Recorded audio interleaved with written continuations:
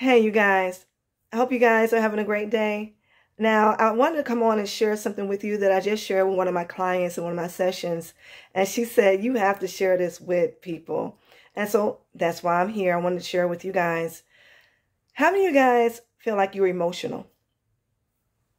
I will fall in that category as being an emotional person. And over my years, I have not been the best at managing them or talking about them. Imagine what happens when we don't talk about it, our emotions. Where does it go? I have an example I want to share with you guys, okay? Watch this. So imagine this is your body, this vase, right? Look at this. I collect rocks, okay? So stick with me. This is a big rock that I got somewhere, and I got all these other little rocks in here. And just imagine all of this in your, like this is your body. So you have this big old rock yeah, big old rock, because I'm country. yeah, this big rock, y'all, that represents something heavy that happened in your life, a huge situation that may have happened, right?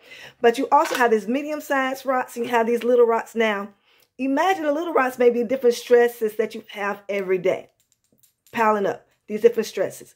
You don't have any coping strategy to release it. You just keep going on with your life, keep going on, keep pushing on. Because we're resilient people. We're just going to keep going on, keep going on, keep going on, right?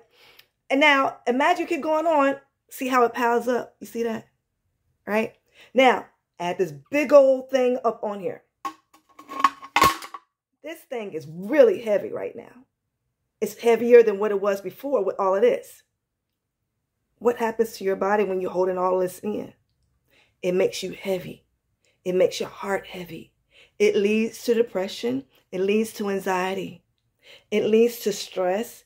It leads to heart issues, stomach issues, different physical symptoms that you may have when we what? Keep it in. So how, what happens? How do we get rid of all of this?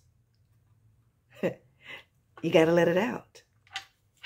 Notice I started off with the big one. Taking it out putting it out, right? And you just keep going on from the little one to the medium. You just keep going on from one situation to another situation, sharing about the situations, sharing about your emotions, what it made you feel, identifying what your emotions are. If you need to get one of those charts, download those charts. Identify them, even the small ones, you guys, just get it out. Because if we don't get it out, it just sits here in our hearts. If we don't get out the thoughts, it just sits here in our brains. And whatever happens in your thoughts lead to your hearts and lead to the behavior. You say, why am I so angry? Why am I yelling at everybody? Why am I so irritable?